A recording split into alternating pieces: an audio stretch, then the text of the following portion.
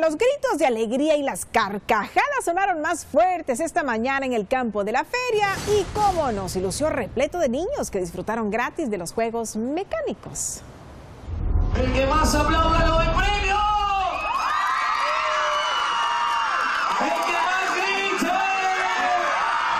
ambiente lleno de diversión en el campo de la feria. Niños y adultos disfrutaron de los juegos y rieron sin parar con las travesuras de los animadores.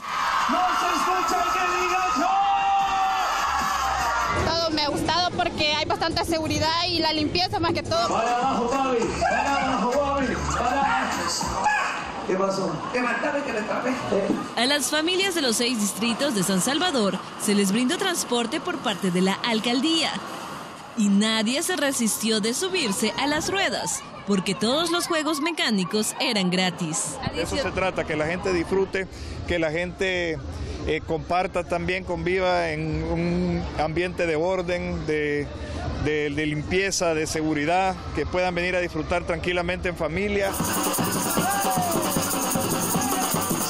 Tradicionalmente dentro del marco de las fiestas siempre tenemos un día gratis para los niños y en esta ocasión, hoy el 2 de agosto, así ha sido.